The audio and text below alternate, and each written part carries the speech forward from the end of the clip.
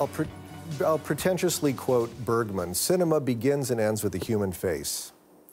And Chaplin has a face, a talent. I mean, he's one of the greatest artists, not just of the 20th century, but perhaps of all time.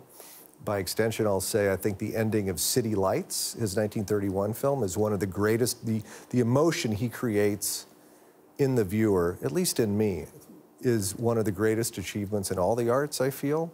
And that's what I'm after in movies. I mean, I think it's wonderful that we have these fantastic spectacles and we can go into the past, we can go into outer space. That's wonderful.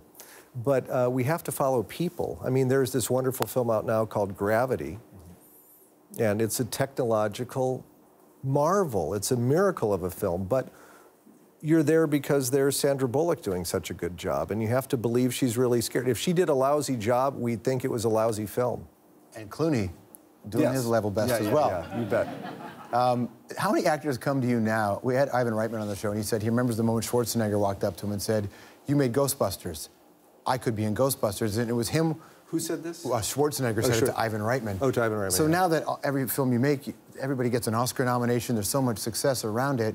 Do you have people who actively find you and say, "Have you got a project for me?" Mostly they're unknown actors who accost me on the street, putting an envelope with their 8 by 10 picture into my hands. That's what I get most That's of it? the time. so Clooney didn't do that to you?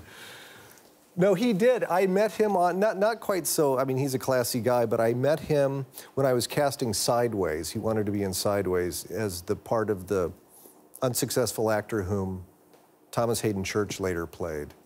And I liked Clooney a lot. I said, I'd love to work with you, but not for this part. I, no one's going to believe that the most handsome and successful actor is the most loser TV actor. I didn't want that to be the joke. So did you give the same pitch to Thomas when you said, I need a loser TV actor?